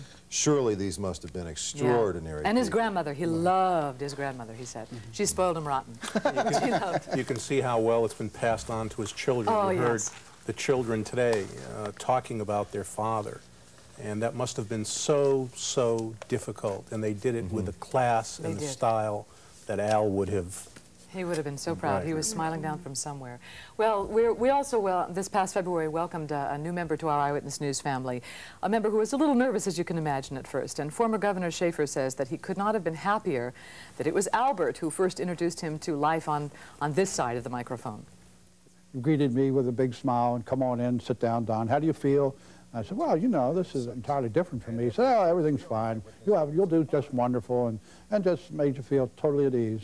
And we're proud to welcome him and his Schaefer Says commentaries to Eyewitness News. It is a pleasure to be here with you on Valentine's Day. And you say it like you mean it. Day. Oh, I do. My heart just flutters. Well, thank you, thank you. After some 22 years for me working with you in one way or another, it is really nice to have you on the same team.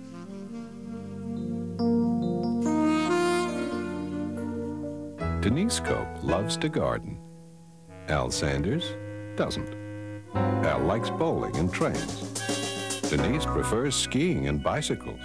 Denise is a fan of show tunes. Al, cool jazz.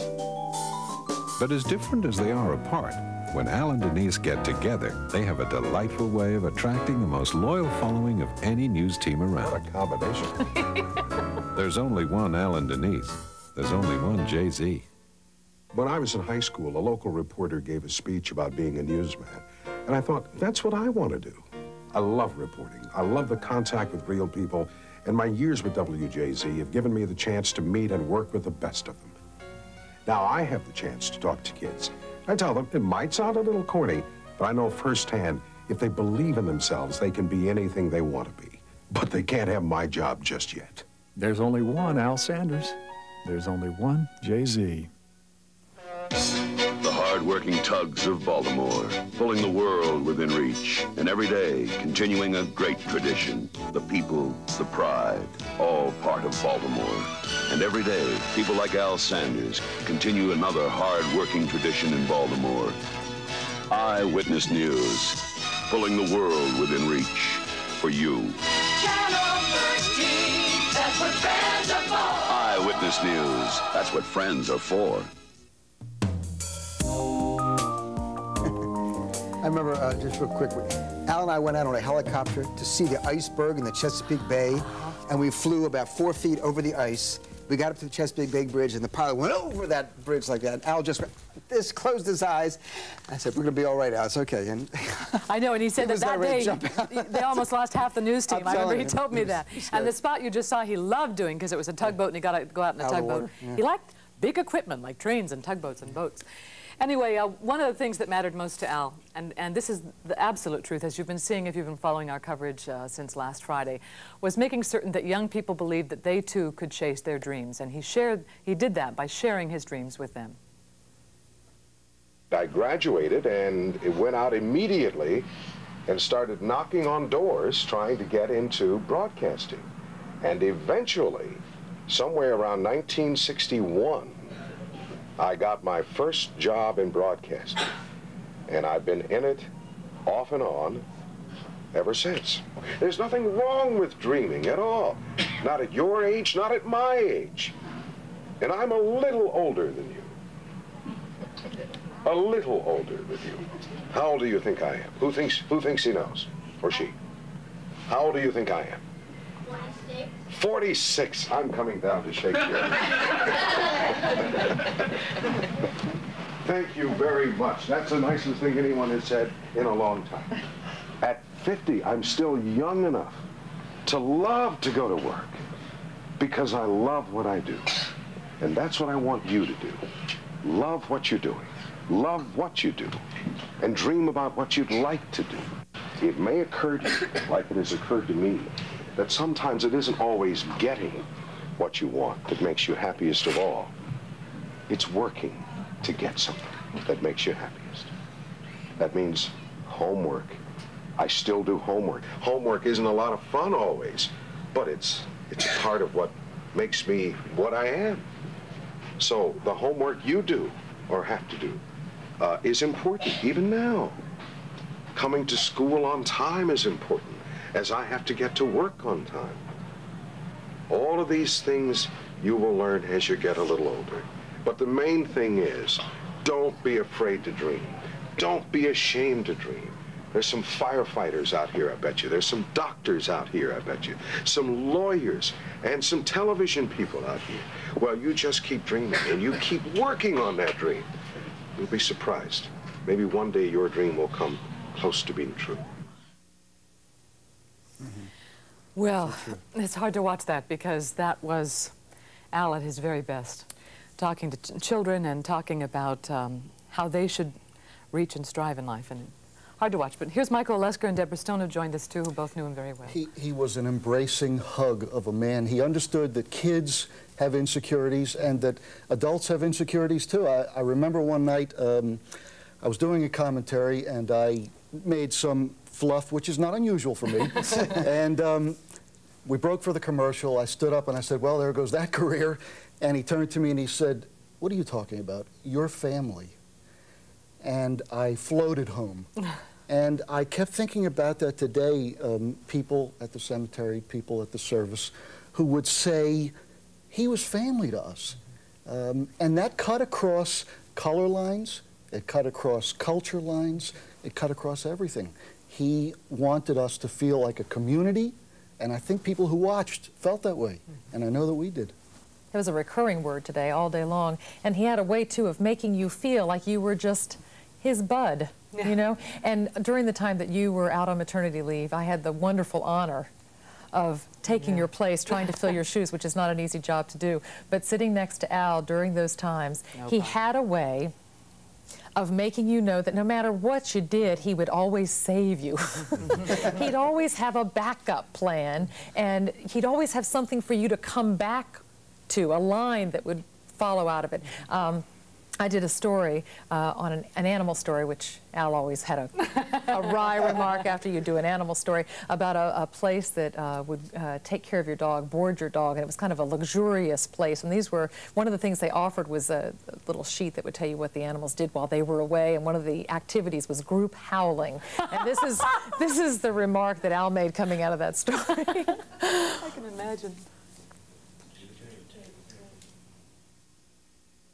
Not a bad place to stay if you're a dog or a cat. How much is it a night? Do you pay extra for group howling? Oh, oh I think that comes for free. That oh. There's no charge for that. Well, Everything I, else is a la carte. Okay. Sounds like good therapy. It does indeed. Maybe we could do that here. We certainly need it here. We did a lot of it here. We did a lot of howling and yelling here. Yes, I was thinking today, I, I probably shouldn't do the real version. You guys know the real version on the night team, and you probably do too. But I was thinking, I used to, we used, people used to joke, you know, that Al and I were like the Bickersons. They go, oh, stop that, didn't we, Harriet? Because he and I would always go mm, to each other, you know. And, and at Nag Nag, I, I used to tell his wife Ruth, don't you worry about him, because when he's at work, I'm making sure he does everything right. and uh, I used to always go, Albert, and he'd go, what? like I was driving him crazy. and I thought of him today at the funeral because you gave such an eloquent speech, but I had pictures of him doing the, the thing that he always Yes, did when he yes. imitated you. He would go, he'd imitate Denise and he would go, oh, yes, he would. Yes, he would. He, I, I, I can be a little dramatic. and he was the first one to check me on it. And I do have a horrible singing voice, and, and those people who are in the room with us now from the night team know that I would sing a lot. Sure. And he would tell me to shut up a lot, and I didn't blame him. Um, also, people have been asking me, why did he call you Denzi? And I should explain that. Uh, when you type my name really fast on the computer, for some reason, it's just easier to type D-E-N-S-I-E than D-E-N-I-S-E. And for the first like month or so when I was filling in for Jerry, he kept doing that. And finally he said, oh, I'm just going to call you Denzi. and I said, fine, and that's where that came from.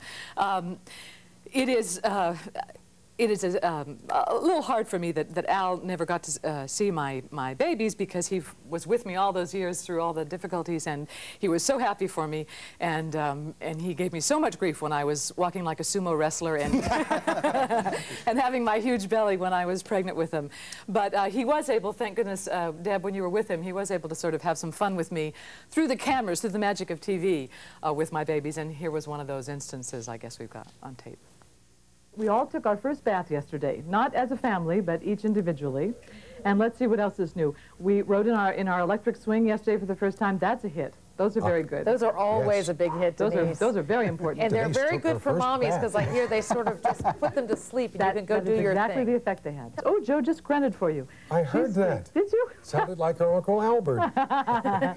oh, there was another grunt. Did you hear it? No, I missed that one. I was so busy laughing over your first bath. Uh, Denise. you know, really quick, one of the first times I ever sat with Al on the set, I used to be doing movie reviews. Uh, remember, you used to call me Hollywood. And I sat on the set, and, I, and we did a review of something, uh, some scary movie. And Al said, you know, oh, it's like Psycho. He said, you know, I, I haven't, I never could take a shower after seeing Psycho. and I and I went, and I said something obscure like, oh, especially not with uh, whoever the character's name was. And he looked at me. And he said to me later, I set you up for the best line in the world by saying, I never taken a shower since Psycho. And I said, but I couldn't have implied that you don't shower on the air because I was so respectful of him. And he said, but it was a good bit. and after that, I learned to be as irreverent as I wanted to. And we have a, uh, another little piece of tape for you, which I haven't seen, so I hope this is going to be okay. We, every time someone leaves the station, we try and give them like a tape to give them a tribute to let them know how much we cared about them. And we always did this off the cuff in the newsroom. And we did one for Marvin Montgomery, who was the 11 o'clock producer for a while, and he went on to New York. And uh, somebody found this somewhere, so uh, Harriet, so we're going to take a look at it here and see us off the air. Gee, I, This is a little giddy. I can't think of anything. Must you hum on my part? I didn't hum on your part. Hi. Your turn to buy dinner. Yes, Albert, I did say I'd take you to dinner. Let's go. I am starving. Did you hear my stomach growl in the middle of the newscast? Denise, all of Baltimore heard it. Oh, pasta? Bellissimo. Oh, great. Glad you could make it. Thanks. I, uh, made reservations. What big spoons you have. The better to serve with. There's nothing like a neighborhood supper to bring families together. Running low on sauce over here. You serve spaghetti as elegantly as you serve up a news story. Here we serve few meatballs. Families getting together in Baltimore isn't news, it's eyewitness news. Al Sanders, Denise Koch, Bob Turk, and John Buren. All right, let's have them. Uh-oh. Return to sender.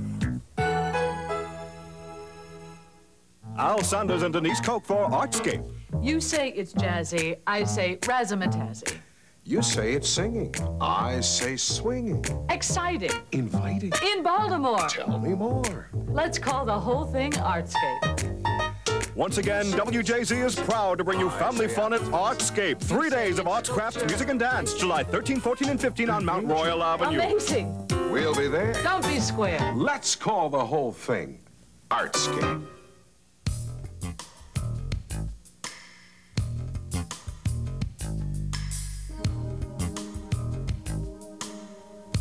Well, that did it.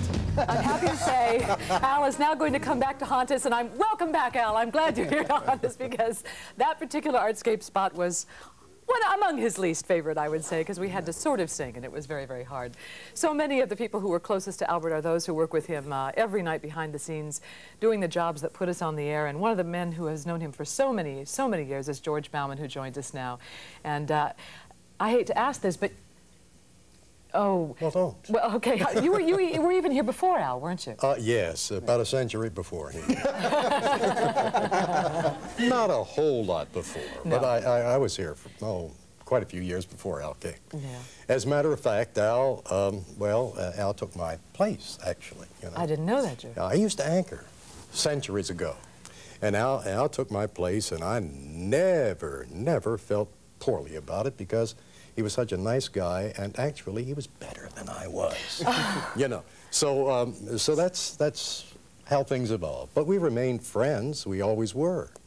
And um, you mentioned Al liked a good laugh. Mhm. The best way I could get a laugh out of Al was to go totally out of character. And uh, I did that from time to time, much to my shame. And uh, here is one of those times. I was covering a chocolate show or something down at uh, Lexington Market, and I thought, how am I going to get out of this thing? Here's how I got out of it. Watch. Yeah, if you like chocolate, Lexington Market is a place to be. But personally, I'm, I'm not crazy about it. George Bauman, Channel 13, Eyewitness News. The Lexington Market Chocolate Festival runs from 10 until 5 through Saturday. George, you get Let's his see. handkerchief out. He retires soon. you know, he was very worried that you'd be mad at him for saying that. Oh, no, no, no. George. He should have been mad at me for doing that on his program. or singing. Did you not one time sing? Oh, more than in once. the in the snow? Yes, you did. Yeah, about your Easter well, bonnet? It, it, it snowed one Good Friday. Mhm. And I sang at the end of it, uh, the piece I did, I sang, um, I won't sing, I sang, uh, In My Easter Bonnet with All the Snow Upon It. I remember. Yeah. George, It's dreadful. Well, no, it wasn't dreadful. It was memorable because I'll never forget it. We're going to go now to a piece that Alex uh, Alex put together about some of the people who work with uh, with us and with Al every night behind the scenes, so that you can meet them. Newsrooms and television stations all share one thing in common, organized chaos. Yes, two things. One, we're killing weather video. Uh-oh. Call Steve. Yeah, it shouldn't be a problem. Roll 13. Go to black. Up track. But one thing they do not all share is personal memories of Al Sanders. That is unique to JZ and the people who helped bring Al home every night. Al wasn't a front man back here. He was a friend. A few years ago, uh, I suffered some losses in my family, very close together. And uh, Al came to me and said, uh, come on, Cliff, you, you need to get away for a while. You need to, something to take your mind off of things. So he and his wife, Ruth, took my wife and I out to dinner. And th- it was, it was so touching and the, the idea that he would do that. Al Sanders evolved over his 22 years in Baltimore with the help of friends. Albert was always a professional, but um, he had a little learning that we we took some painful times to sit him down, teach him how he's supposed to be, how Baltimore is. Number one, I used to tell Albert, Albert, who is your barber? Because when Albert had the had the fro, the fro was always lopsided. If you ever notice on his pictures, his fro one side was always smashed down. So he, he told him, either I'll take you to the barber shop or I'll teach you how to comb your hair. And Al could not only take a joke, he could tell one. You have to say love Well, I, and mean it. if I could do that, I'd make a lot more money. Uh, Al had a Jack Benny sense of timing, um, and just the delivery that he would give of a, of a line was great. I remember once we were having a birthday celebration for him out here, and we were all going to toast Al. Al, here's to Al. And Al said, You know, I've been toasted once before. Hurt like the Dickens. And he just deadpan. It was great. And then there were all those stories in the field. You never saw the photographer or the producer that helped make them happen. The photographers like myself got to see the side of Albert that I think he really had a passion for in this business. He was a, uh, a fantastic storyteller. He was just a master storyteller and probably the best uh, journalist uh, that I've ever known. Al was a true friend to his friends. And I am so grateful and glad that he was my friend. Don't you run away just yet. Oh, we have something. For we for have you. something to say tonight. We have Oh. something to sing tonight, something to celebrate. Oh, I didn't This is- singing. This is Leona's, can I tell? Absolutely. 75th birthday. Oh, oh, yeah. Oh, yeah. Happy birthday to you. Happy birthday to you. Happy birthday, dear Leona. Oh, Happy birthday to you. I'm overwhelmed. Harriet didn't get that many roses.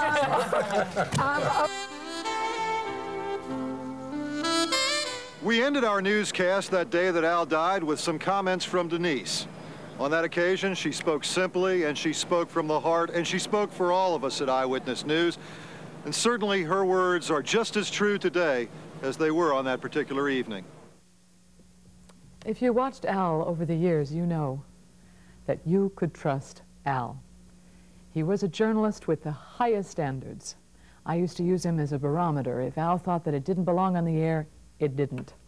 If Al thought that it was a story that had to be aired, it was, and it did. Behind the camera, Al spent nine hours a day in the newsroom writing for both broadcasts, following up phone calls to hunt down a story, and bringing laughter and bringing fun to every meeting we had. Each person in this building tonight is suffering Al's loss in a very deep and a very personal way. And many of you, I believe, are left with sadness now that he is no longer among us. I wish that you all could have had the great privilege I had these last best eight years of my life that Al and I shared together. Working with him was an honor, but knowing him was a blessing because we had fun. We had so much fun. Just the sight of him sauntering out of his Jeep and his coat was always thrown over his shoulder and he would yell, hey, Denzi, across the parking lot. And it made me glad to come to work and it made me glad to be with him. And he would bang on the restroom door as he walked into the studio and he'd yell, hurry up, Denzi.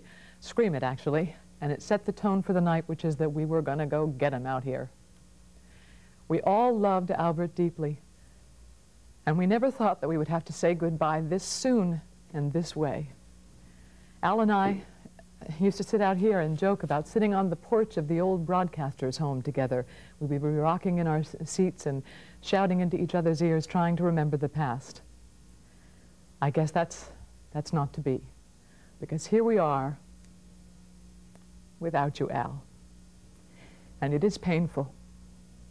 But I would not have missed a single moment of the years that I spent with you. Not one hug, not one heated exchange, and not one burst of laughter. And if heavens themselves blaze forth the death of princes, look to the sky tonight, because it will be shining brightly for the prince of a man who was Al Sanders.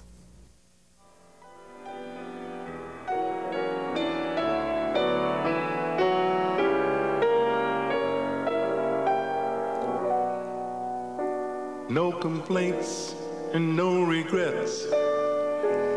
I still believe in chasing dreams and placing bets. And I have learned when all you give is all you get. So you give it all you got.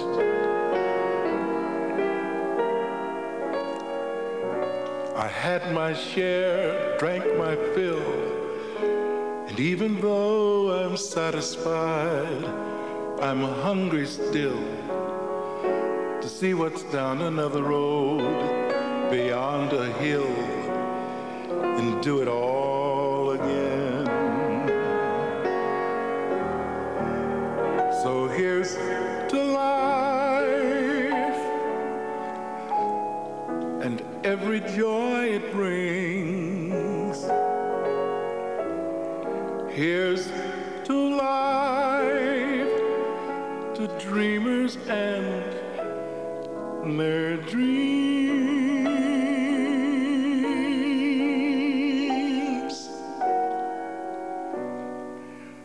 Funny how the time just flies, how love can go from warm hellos to sad goodbyes and leave you with the memories you've memorized to keep your winters warm.